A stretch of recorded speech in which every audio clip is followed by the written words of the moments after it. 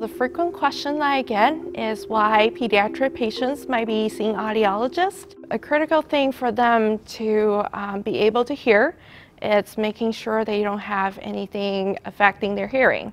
For example, chronic ear infections or even congenital hearing loss. It could be one ear that's not identified at birth and further develop problems for them to learn speech and language.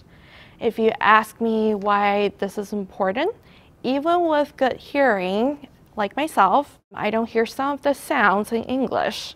And that's critical because I do have the knowledge of English in order to support myself. But if you think children who are just starting to learn the language and they're hearing under the water, it's never going to be easy for anyone to learn. That's why at the clinic we work closely with other departments, especially pediatricians and the walk-in clinic to ensure kids get their best referral for the best care.